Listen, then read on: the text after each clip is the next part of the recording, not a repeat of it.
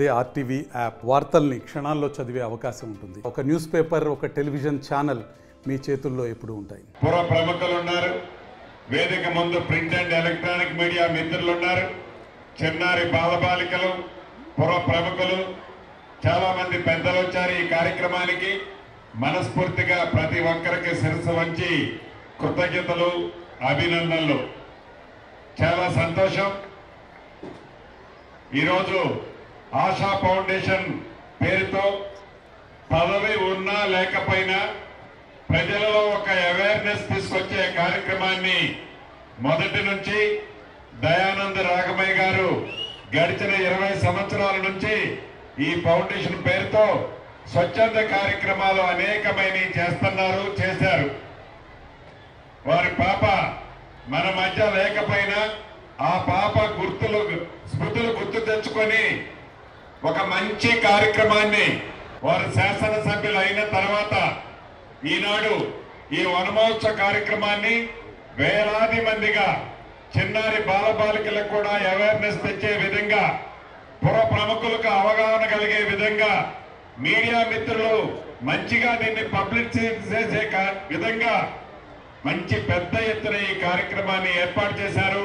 మనస్ఫూర్తిగా ముందుగా ప్రభుత్వంలో వారు ఉన్న ప్రభుత్వ పక్షాన మంత్రిగా అటవీ శాఖ మంత్రిగా మా అందరి తరపున వారి కుటుంబానికి అభినందనలు కృతజ్ఞతలు తెలియజేస్తున్నాను అడవుల గురించి పచ్చదనాన్ని గురించి పరిశుభ్రత గురించి చాలా వివరంగా మనిషి మనుగడ కలగాలి ఉండాలి అంటే ఈ పచ్చదనానికి ఉన్న ప్రాధాన్యత ఎంత? ఈ చెట్లను పెంచడం వల్ల వచ్చే లాభం ఏంటి? మనం ఆరోగ్యంగా వెనక పెద్దోళ్ళు వందేళ్ళు బ్రతికారు అంటే దానికి కారణం ఈ చెట్లే అనేది. ఇంతకు ముందు పెద్దలు చాలా స్పష్టంగా వివరించారు. ఇది నిజం కూడా. ఇందాక కవి గారు జయరాజు గారు చెప్పినట్లు చాలా అద్భుతంగా ఈ వృక్షం యొక్క ప్రాధాన్యత ఈ చెట్టు యొక్క ప్రాధాన్యత మొక్కైన దగ్గర నుంచి నిత్యము మనిషి లెగిసిన ఉదయం దగ్గర నుంచి రాత్రి పడుకునే వరకు చివరికి మనము చనిపోయిన తర్వాత కూడా ఈ వృక్షం యొక్క ఈ కట్టెలతో ఆ ప్రాధాన్యత ఈ మనిషికి ఉన్న అవసరాన్ని చాలా స్పష్టంగా ఒక కవిత రూపంలో జయరాజ్ గారు వివరించారు. నిజం కూడా అది.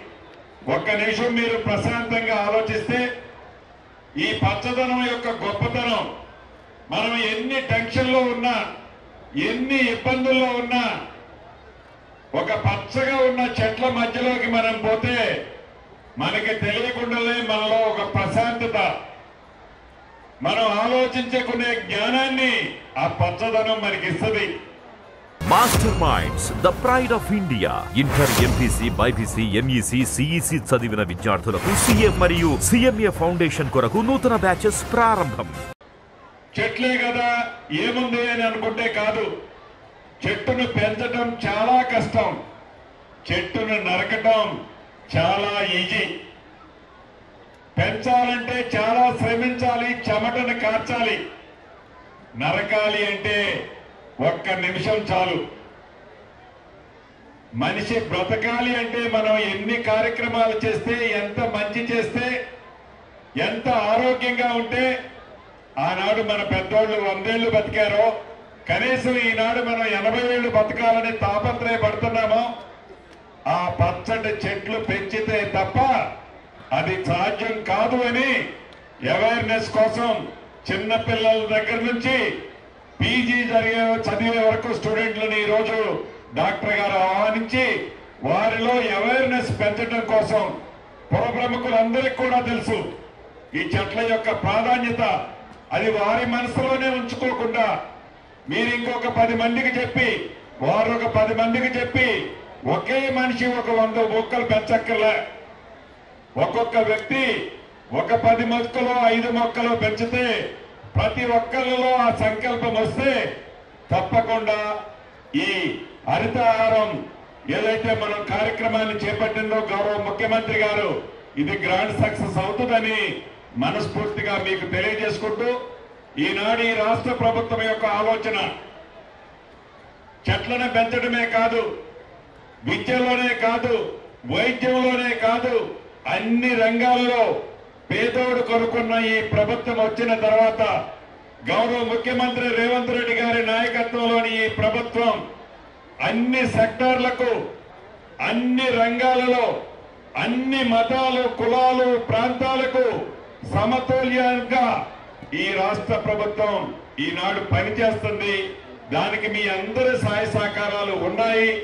భవిష్యత్తులో కూడా ఇలానే ఉండాలి అని మనస్ఫూర్తిగా కోరుకుంటూ మరొక్కసారి ఆశా ఫౌండేషన్ ప్రతినిధులందరినీ అభినందిస్తూ సెలవు తీసుకుంటున్నాను. థ్యాంక్ యూ వెరీ మచ్ మరిన్ని వీడియోస్ కోసం ఛానల్ సబ్స్క్రైబ్ చేయండి. లేటెస్ట్ అప్డేట్స్ కోసం వాట్సాప్ ఛానల్ ఫాలో చేయండి. అండ్ లింక్ డిస్క్రిప్షన్లో ఉంది.